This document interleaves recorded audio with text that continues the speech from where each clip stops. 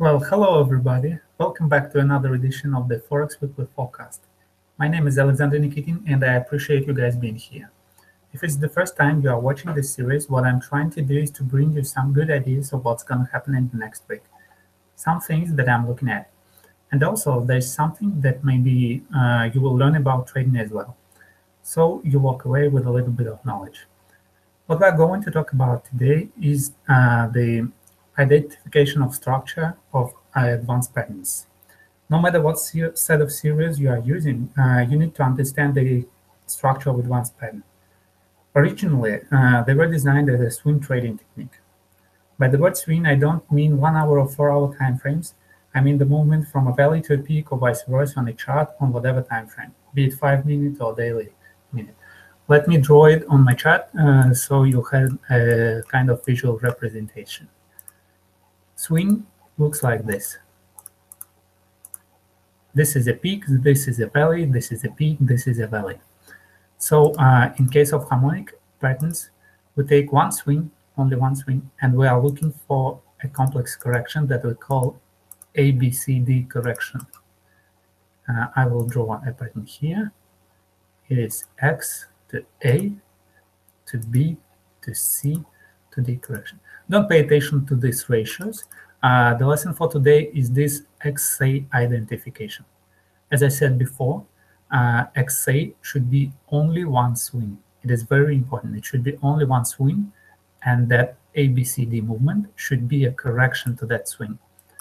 Of course, it is not okay if you draw patterns like this, X to A, to B, to C, and D, because XA, your XA contains two swings.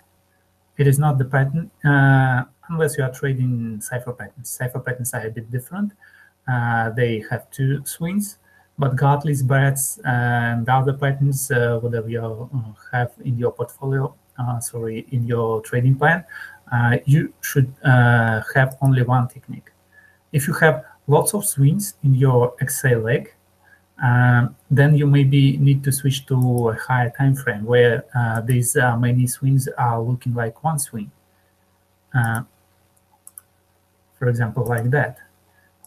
If you have your pattern like this, these are the swings, this is the correction, uh, XABCD, let me take that, boom, boom, boom, you have some pattern like this. This pattern is not correct.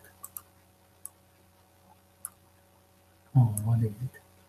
C point, I need C point. Where is my C point? Here. This pattern is not correct, no matter what uh, ratios uh, you have in B and C and D points. Because your XA is not correct. You uh, destroyed the structure of the pattern. The structure of the pattern is one swing and correction to that swing.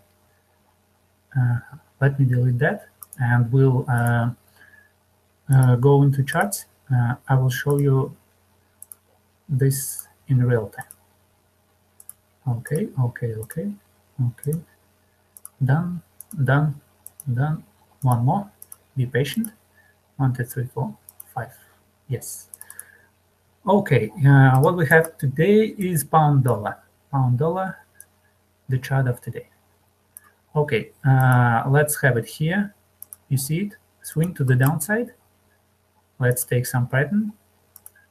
X to A. It is a corrective structure to that pattern. Gartley pattern, wonderful winner. Because A, B, C, D movement is the correction. It takes place within XA range. Okay, next is here and you see what happens here. A, B, C, D movement is a correction to XA. Let us take another pattern. X, A, B, C, D. Okay, what we have next? We have next another swing to the downside. You see, we have the close below the previous uh, low. This is my strategy. Uh, I will not explain it uh, right now because it takes lots of time. Uh, then we have XABCD movement again, something like this, and it works. So it is a very frequent uh, pattern here, pattern formation here that uh, that is called advanced pattern information. You should find the swing first. Okay, this swing is okay. And then you are looking at ABCD type correction. ABCD is a complex correction. Complex. Uh, when I say complex, I don't mean uh, it is something that is very difficult. I mean that it is uh, not straight. It is moving uh, that zigzag manner, in zigzag, ABCD. It, it should give us ABCD. So first you identify XA, then ABCD. Then you identify XA, then ABCD. One, two, three, four, five winners in a row, six winner. Very, very good uh, win ratio uh, in these harmonic patterns if you identify them correct. Okay, here is the XA leg. It doesn't give us any Gartleys or something, any advanced patterns. Here it is the uh, corrective swing to the upside and then downside swing again. And what we have right now, we have another pattern completed. So what I am expecting, I am expecting the same as I expected uh, on previous uh, Gartleys that I drawn here. I expecting the price go to the downside and continue the downtrend as it did here, here, here. And uh, as you know, history repeats itself. It is uh, one of the most important truths uh, in um, technical analysis. Because if history does not repeat itself, you cannot use technical analysis to make money. of course, history repeats itself.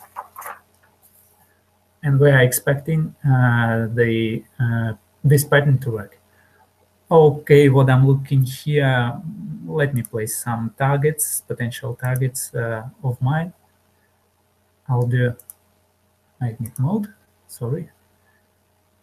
And I draw some fibs.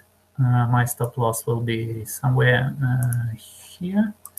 My entry is 786. As you see, the pattern is already completed and I entered that uh, trade. And my target, I will not be very greedy. I'll take the first target very close. So my target is 618. Although, although you see that this pattern tends usually to uh, continue the trend, it usually goes beyond a point. I am taking targets a bit earlier. I'm not very greedy. And uh, taking targets a bit earlier, you are having very, very good accuracy of the pattern, more, more than 60%, uh, your pattern will be accurate. 60%, uh, just uh, imagine that. You have your risk being that small and you have your reward being that big and that you are rewarded 60% of the time. Okay, this is the lesson for today. Uh, hope you enjoyed it. Uh, please subscribe, uh, give me likes, thumbs ups, or whatever. And I hope we'll meet next week. Until then, uh, good luck and uh, goodbye. See you later.